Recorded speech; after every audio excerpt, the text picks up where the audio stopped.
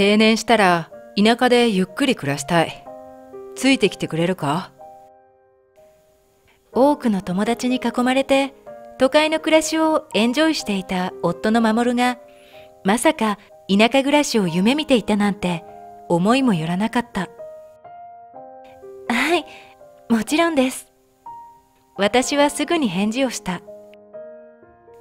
私は両親を亡くしていた。だから20歳近く年の離れた守は私にとって夫であると同時に父のようでも兄のようでもある。かけがえのない存在だった。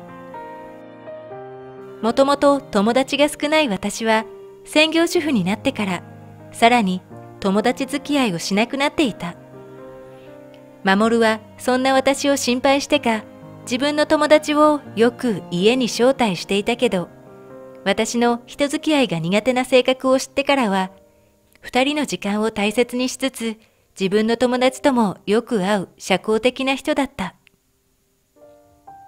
だから私と二人で田舎で暮らしたいと思っていたなんて、全く寝耳に水のことであった。守は私の返事を聞いてすぐに狙っていたという物件を購入。定年するまではその家は別荘として使おうと言ってくれた。夏休みには娘の綾菜も連れてその別荘に泊まりに行くことになっていた。あの日はいつも通り家で夕飯の支度をしている頃だった。今日は一人暮らしをしている息子の颯太も用事があるとかで帰ってくる。なんだかんだ気合を入れて息子の好物も作っていた。暑い日だったから揚げ物はちょっと大変だけど、最近照れ隠しなのかぶっきらぼうになった颯太もこれなら喜んでくれるだろう。その時、電話が鳴った。知らない番号だったが、とりあえず出てみる。ご主人が事故に遭いました。警察からの電話だった。持ち物からうちの電話番号が出てきたそうだ。持ち物からってことは、今は喋れない状態なのかな？私は冷静にそう思っていたけど、即死だったのだ。その後のことはもうほとんど覚えていない。いつの間にか葬儀も何もかも終えていた。すべてが終わってしまい、私は抜け殻状態だった。大好きだった料理もしなくなって、ただただぼーっと過ごしていた。綾菜は今時珍しく親思いで父親のことも大好きな子だ。そのせいか、夫の遺影を眺めては毎日泣いている。颯太は特に何も言わないが、二日に一回くらい実家に帰るようになった。夫が亡くなって2週間が経った頃に一通の封筒が届いた。それは夫が買った田舎の家の書類だった。二人で見に行って即決した家。夏休みには別荘として使おうと言っていた家。来年の春から私たちが暮らすはずだった家。書類を見て私は初めて涙が出た。その日は久しぶりにすぐに寝つくことができた。志保、一緒に暮らせなくてごめんな。夢の中で守が出てきて私に謝ってきた。あなた、そんなことないです。謝らないでください。二人で選んだあの家で。ええ、私もです。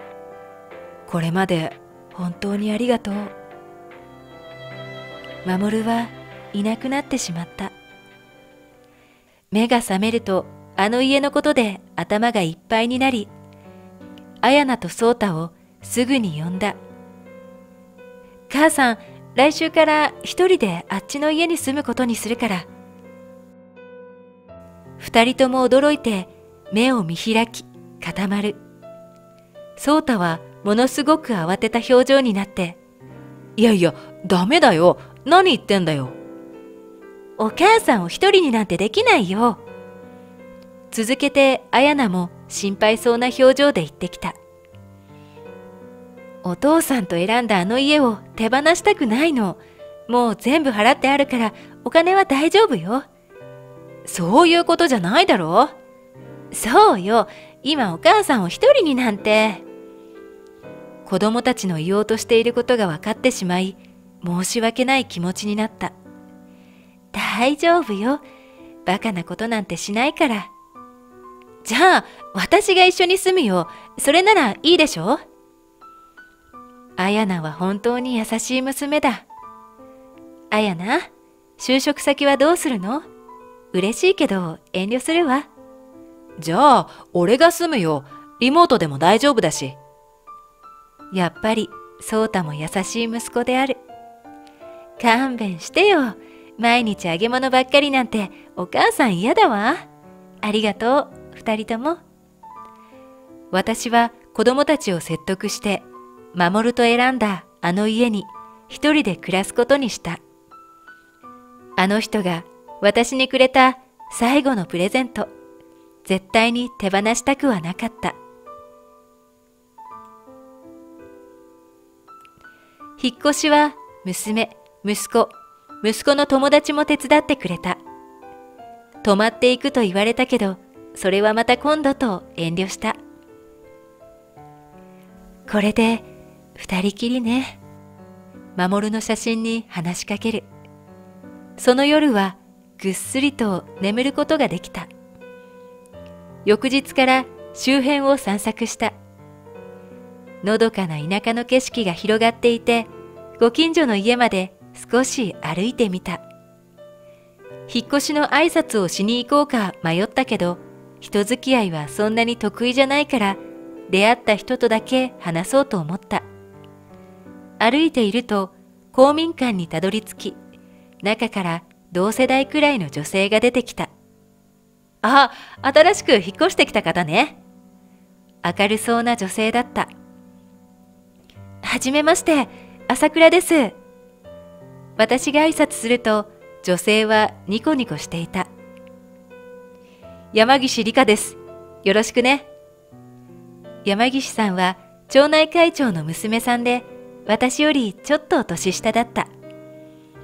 町内会の集まりがちょうど終わったところらしく、私を皆さんに紹介してくれた。そこで何人かの人たちが、石井さんみたいな人じゃなくてよかった。と言っているのが気になった。私はあまり人付き合いが得意ではない。田舎だから町内会も顔を出さないといけないのかなと思うと、やはり気が重い。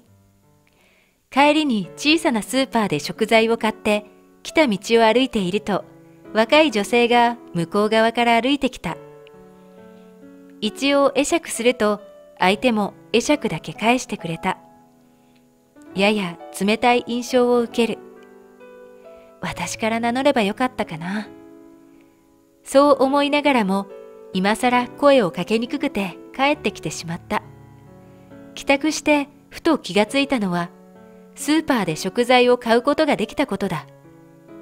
夫が亡くなってからすっかり料理を作る気が失せていたからだ。娘が惣菜を買ってきてくれたり、息子が出前を取ってくれたので、なんとか食事はとっていたが、食欲は湧かなかった。でも昨日こっちに来てからよくわからないけど、料理を作る気が湧いてきたのだ。一人になって初めて作った料理はカレーだった。ただ、いつもの癖で夫と娘の分も作ってだいぶ余ってしまい、とりあえずタッパーに入れてみたけど、明日もこれを食べるのだろうか。ざっと2食分くらいあるかもしれない。自分一人で平らげるとなると気が遠くなりそうで、タッパーを持ったまま外に出てみた。まだ時刻は7時くらい。一番近くのお家にでも行ってみようか。そう思って歩いていると、スーパーの帰りに出会った若い女性がビニール袋を持って歩いていた。あの、なぜかわからないけど、とっさに私は声をかけていた。若い女性はゆっくりとこっちを見た。はい。女性は少し困った表情でこちらを見ている。彼女の持ったビニールからはうっすら缶詰やレトルトの袋が見えた。突然すみません。あっちの家に引っ越してきた朝倉志保です。私がそう言って挨拶すると、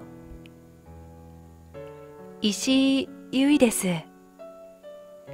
町内会の人が言ってた石井さん？私はふと思ったが、手に持っていたタッパーの存在を思い出し、石井さん、突然すみません。これ、カレーなんですけど、もらってもらえませんか？石井さんは困った表情でこちらを見た。やっぱり断られちゃうかな。私がそう思っていると、ありがとうございます。石井さんは私からタッパーを受け取ってくれた。私がかすかにほっとした表情をすると、石井さんもちょっとだけ微笑みながら、朝倉さんはここの人たちと違う気がしたから、ここの人たちと違う？気にしないでください。私、料理が苦手なので助かります。その後は特に話すことなくタッパーを渡して別れた。家に戻ると私は早速カレーを食べ始めた。守は私の料理が大好きだった。特に和食が好きだったけど、カレーも好物でよく作っていた。守が好きだと言ってくれたカレーは、ひき肉たっぷりのカレー。チキンでもポークでもビーフでもなく、キーマカレーでもない。ひき肉たっぷり具沢山の野菜カレー。ポイントは、人参はゴロゴロしていて、じゃがいもと玉ねぎはとろっと形がないところ。夏はよくこれにかぼちゃやナスの素揚げも入れていた。今度はナス買ってこようかな。しばらくぶりのとても心穏やかな夜を過ごせた気がした。翌日の昼間、私は家の中を掃除していた。二人で住む予定だったから、一人で暮らすにはかなり大きな家。二階建てで部屋が三部屋あり、キッチンもダイニングも私だけなら使い切れないくらいだ。おまけに庭も広いので草むしりが大変そうだ。あの人がいたら俺がやるからって言ってくれてたのかな。急に寂しくなって涙が出てきた。どうしよう。このままここに一人で暮らせるのかな。そう思っていると玄関のチャイムが鳴った。涙を拭いて急いで玄関へ行くと石井さんだった。昨日はごちそうさまでした。朝倉さん料理上手なんですね。石井さんはタッパーと一緒に絵はがきをくれた。素敵。私がその絵はがきをうっとりと見つめていると、俺何がいいかわからなくて、私、絵を描いているので。石井さんが描いたんですか？はい、もともと絵の仕事をしていたので、素敵ですね。よかったらまた描いてもらえませんか？そう話しながら、こんな言葉を言えてる自分に驚いてしまった。え、えーと、石井さんは困っていた。あ、代わりに私は料理を作ります。